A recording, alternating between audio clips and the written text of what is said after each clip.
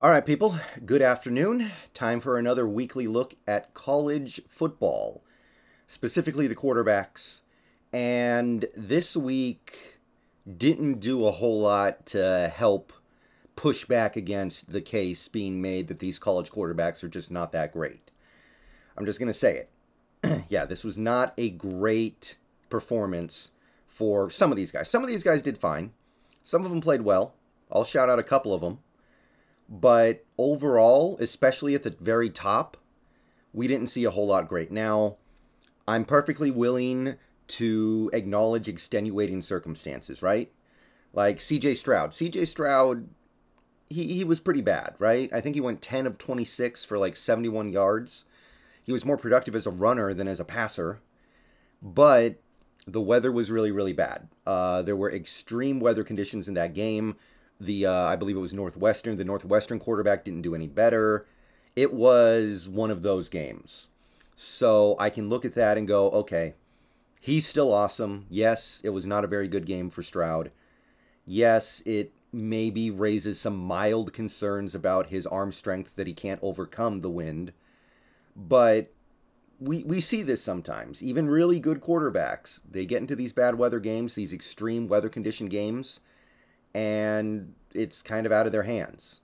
So, not going to dock him for that, especially because Hendon Hooker didn't play well either.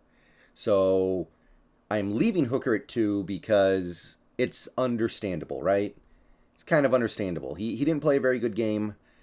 Georgia is Georgia. They're probably going to win the national title this year. They have an incredibly good defense, some really excellent pieces over there. And we've already seen Hendon Hooker kill Alabama I know Bama's not having their best year, but it's not like Hendon Hooker hasn't proved good things against credible defenses. So I'm going to definitely take it a little easy on our top two guys. So I'm going to leave them alone at one and two, Stroud one, Hooker two, just because I get it, right? Stroud, extreme, extreme conditions he had to overcome, and Hendon Hooker just, it's Georgia. Georgia's going to make a lot of quarterbacks look like that. Uh, number three, still Will Levis. He played pretty good. Played a good game for Kentucky. They won. He threw three touchdowns. Not a huge game. I think he had like 180 yards or something like that, but he played fine. Nothing wrong with that. Solid. Gonna start working his way back up over these next few weeks, hopefully. That was a good start. And number four remains the same as well. You have Anthony Richardson, who played a good game against, I believe it was Texas A&M.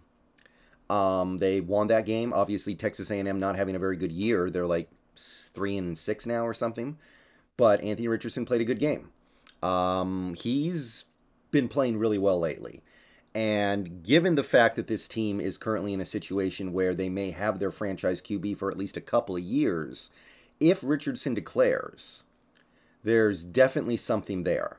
So if Anthony Richardson leaves college, I think it's a mistake. But if he does do it, then you can definitely finagle your way in there and get a guy who you can groom over the next couple of years. Um, number five, I bumped Cam Ward up a slot. He played fairly well against Stanford. Wazoo blew him out. It was like 52 to 14 or something like that. It was one of those scores. Uh, Cam Ward did throw a couple interceptions, so it wasn't a perfect game, but he played fairly well.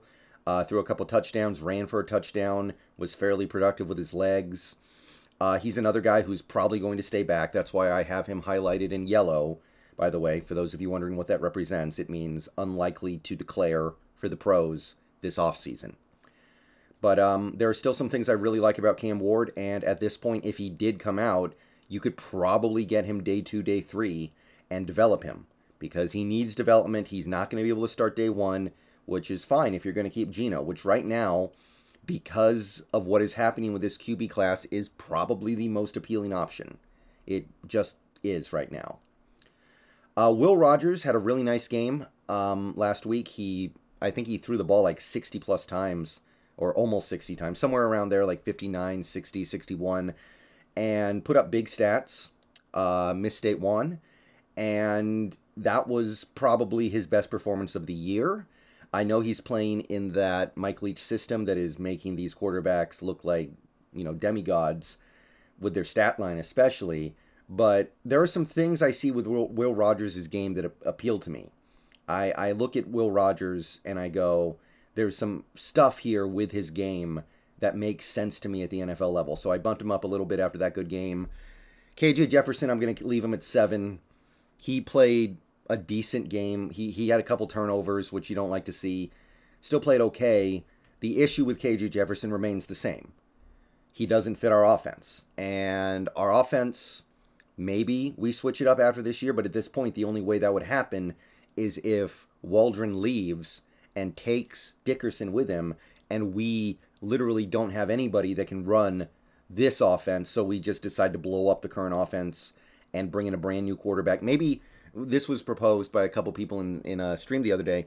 Maybe Waldron takes Geno with him wherever he goes, and then you're just like, well, we don't have anything now, so let's just go ahead and blow it up. Let's go get a brand new, different type of quarterback like KJ. Let's get a different type of offensive system and just go from there. I know nobody really wants to talk about doing that right now because things are going so well, but I guess it's possible. I, I doubt it, but it's possible. Uh, Bryce Young played a very interesting game against LSU. Less than 50% completion, but he made several big plays at the end of the game to try to win it. But they didn't win it. Um, defense let them down in overtime a little bit. They gave up the two point conversion, and Alabama's toast for the year, basically. So I, I'm still just not in love with Bryce Young, and there's really not much he can do to change my mind. He's just a little too small and I'm a little too concerned about what that might mean for him at the pro level. And it's going to be hard for me to get past that. So I, I know some people really like Bryce Young. I get it. There's a lot of things about his game that are really likable, but your best availability is your availability. So I, I, I think there's some stuff with Bryce Young I'm going to have a hard time getting past. And it would be one thing if Bryce Young was a guy you could get in the second or third round, but we know that's not the case. Understand that. Yeah, some of the guys on my list who have been, or guys who have been on my list this year, have been as small as Bryce Young. But the thing to understand is that Bryce Young is going to require a top 10 pick minimum, probably top 5. So that really puts me off of it. Number 9, I bumped up Grayson McCall. He had another good game for uh, Coastal Carolina.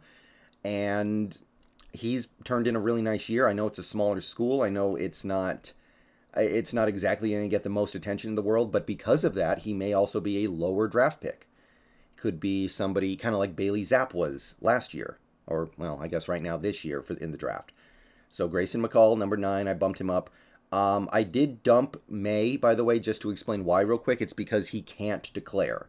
It's literally impossible. He has only been in college football two years. I didn't know this until someone told me uh, last week. So Maye is off the board. So the number 10 spot, and here's a guy who's um, completely crashed and burned DJ Uiagalelei. Um, he got benched again. Clemson completely no showed a game they should have won easily. Uh, they got blown out basically. He got he he, he didn't play well. Um, and he's got too much college football experience for him to be making these bad decisions. So I'm a little off the DJU train right now. Now he's going to go back to college next year, probably. And if he plays really well and he fixes these issues, we can revisit this conversation in 2023, 2024. But as of right now, I look at DJU and I go, he makes too many bad decisions, so I can't rock with it. Um, we'll, we'll have to check in again next year. I still like him.